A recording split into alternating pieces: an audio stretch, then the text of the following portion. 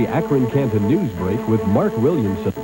Good evening. On the Akron Canton News at 11 o'clock tonight, another Akron Canton area supermarket is closing. We'll tell you which one it is and why. We'll also take a look at why the URW contract is going to be voted on by Firestone workers in Akron Sunday has a little bit better chance for passage.